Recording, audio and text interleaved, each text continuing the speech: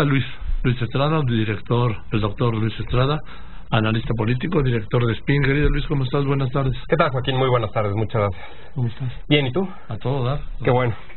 Oye, pues, eh, fíjate, estábamos oyendo hace unos momentos la, el momento en el que el presidente López Obrador habló sobre algunos temas en la conferencia de hoy. Eh, como algunas personas notaron, con una voz ronca, decí, decía el presidente hoy en la mañana que fue por el cambio de, de clima y el cambio, los cambios de temperatura, de caliente a frío, en fin.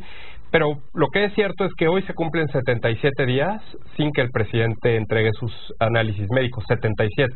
Recordemos que el presidente lo dijo en una de las conferencias que iba a entregar esos análisis, pero pues no lo ha hecho. Es una de esas Bueno, pero promesas. cualquiera, cualquiera le da una afonía, ¿no? Claro, pero No. pues Lo que pasa es que, ¿sabes qué? en cualquier momento No es el se- calor ni el frío, es el desgaste de la voz en los Claro, discursos, en los mensajes. Echa que cuatro al día, por lo menos. Y en fin de semana, En sí. muchos más, ¿no? Claro. En esa yo lo de las giras, ¿sí? Por Exacto, en las giras. Y bueno, pues hoy se cumplen 311 días de gobierno. Hoy fue la conferencia 214 de lunes de lunes a viernes. Y eh, la semana pasada vimos eh, dos cosas importantes. La primera es la conferencia de Puebla fue la número 13 fuera de la Ciudad de México. Ya prácticamente no ha repetido estados en estos 13 que ha hecho fuera de la ciudad. Eh, en esas 13 conferencias se han presentado 16 gobernadores. Debutó el gobernador de Puebla, eh. Luis Miguel Barbosa. Y eh, bueno, pues eh, habló algunos temas interesantes sobre seguridad sobre todo y que también pues no olvidemos que el presidente se comprometió para que el 20 de octubre daría un, eh, esta semana en concreto sobre eh, seguridad Hoy- un reporte. Hoy, hoy lo dijo que lo va a dar la semana que viene. Ah, bueno, pues lo- la semana pasada dijo que, que esta semana lo haría. Eh, veremos cómo, cómo viene ese reporte y bueno, pues las cifras que pues no no tra- no, no ceden respecto a la seguridad y, y los homicidios. La mm, la semana pasada también me parece que hubo cuatro temas importantes que mencionó el presidente y que recuperamos rápidamente. Uno que está vigente en esta semana es el asunto de la revocación de mandato. Platicaba la semana pasada justo con Daniel Sobato, quien es director para Latinoamérica de IDEA Internacional, y de acuerdo, de acuerdo con, este, con esta organización, a pesar de que el presidente dice que es una práctica fundamental de la democracia, la revocación de mandato, solamente tres países, de acuerdo con IDEA Internacional, tres de más de 150 países, eh, tienen esta figura, la revocación de mandato. Y estos tres países son Bolivia, quienes estamos a punto de presenciar nuevamente una elección más de Evo Morales, Ecuador, que pues sabemos la inestabilidad que ha tenido en las últimas décadas eh, en los gobiernos, y por supuesto Venezuela, que tuvo un periodo amplio con Chávez y ahora con Maduro. Entonces, tres países con revocación de mandato, Bolivia, Ecuador y Venezuela, a pesar de que el presidente dice que es una práctica fundamental de la democracia. Veremos cómo se resuelve y, qué, y qué, cómo acaba la negociación con los partidos de oposición, especialmente por la fecha en la que se quiere Bueno, llevar a cabo. Ya, van por febrero del 2022. 22. Así es, el presidente lo quería hacer el 21 de marzo, que es el natalicio de Benito Juárez. Después dijo que el, bueno, primero dijo que el día de la elección, El ¿no? día de la elección, que fue el punto de ruptura. Y luego dijo que se podía hacer antes, el día del natalicio de Benito Juárez, y ahora pues Después están en que, el que el 1 de diciembre, en- con motivo de su... informe. No, pues de, no, bueno, de su aniversario de su de, aniversario, su tercer año. de inicio de gobierno. Así es, su tercer aniversario, a inicio de la segunda mitad. Y ahora pues vamos a ver si en 2022. De febrero del 22. El segundo tema, Joaquín, es el asunto de la violencia. Lo platicamos la semana pasada, el llamado del presidente en las marchas, especialmente la del 2 de octubre. Eh, y bueno, pues el presidente mencionó que había sido exitoso el operativo y pues quienes vieron la lo que sucedió en la marcha, pues no necesariamente fue así, incluso tan exitoso, si esa es la medida, que renunció el titular de la Secretaría de Seguridad. Yo, pero ahí sí yo, yo lo separo completamente. ¿Las dos cosas? Totalmente. No tuvo nada que ver la marcha con... eh, Eso ya era una decisión que estaba tomada. Mm. Tomada Desde la marcha anterior. No, desde hace dos semanas, no, pero eso no es un problema de marcha, sino de inseguridad Mm, ok, y de capacidades. ok. Por eso llega, quien llega, Omar García Harfuch. No sé, es un tema que realmente que tiene que ver con la inseguridad, no con las marchas, porque ahora hoy se publicó, Sal Camarena lo publicó, ¿no? que Pepe Merino fue eh, tuvo la idea de las cinturones de paz. Sí.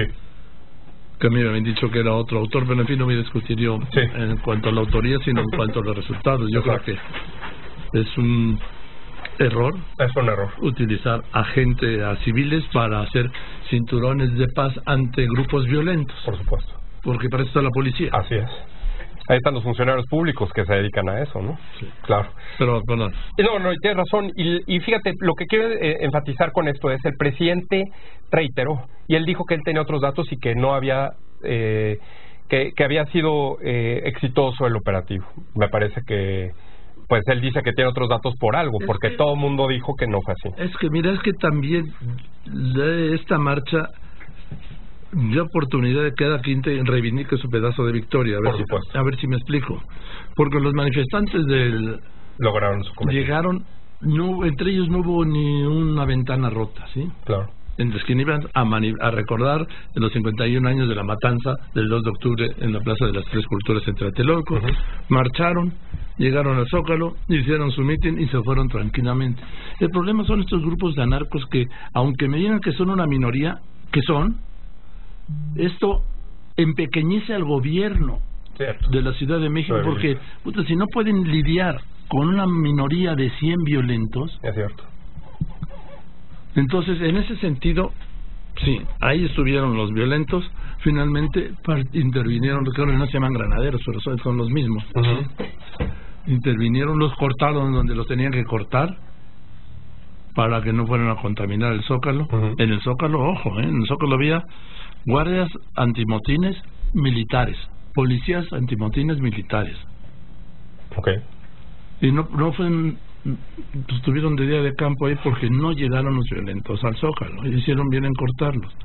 Pero la gente que se había mandado, además, fu- funcionarios, la Ciudad de México no tiene 12 mil funcionarios, hombre. Imagínate. El gobierno de la Ciudad de México. Claro. Fueron trabajadores Ujú. que los mandaron En su día laboral. en su día laboral a jugarse el pellejo, Sí. a exponer los violen ante los violentos. De acuerdo, completo. Y bueno, pues ahí es donde el presidente cuando dice que tiene otros datos, como dices, es conforme a la interpretación. Aunque suena más como cuando dice Kellyanne Conway, la vocera de Trump, que ella tiene otros hechos. No, los hechos son, ella, ella decía, eh, tengo otros hechos, ¿no? Sí. Los hechos son unos, nada más, no no son cualquiera Sí, sí, que tenga sus propios hechos, como la frase de aquel senador eh, eh, que decía que cada quien tiene derecho a su opinión, pero no a sus propios hechos. Y aquí, bueno, pues eh, tener sus propios datos puede derivar eventualmente en tener sus propios sus propios hechos. Bueno, eh, sobre eh, eh, ese fue el, el- el segundo tema. El tercer tema, pues por supuesto, la renuncia del ministro Medina Mora, donde el presidente cuando le preguntaron directamente, como hoy, repitió que lo hacía para atender las supuestas denuncias. El presidente Para defenderse de las... Sí. Acusaciones, ¿no? Sí. Supuestas acusaciones.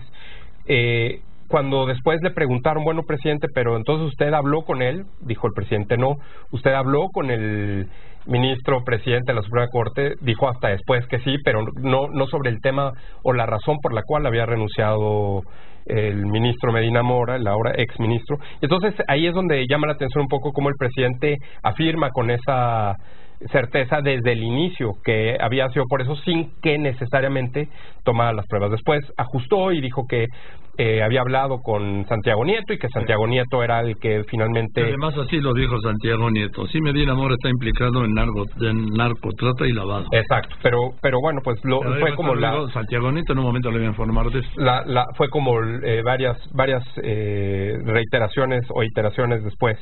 Eh, algo que sucedió y hemos platicado en este espacio es cuando el presidente toma mucho tiempo para contestar, lo hace en específico con algunas preguntas y con algunos reporteros.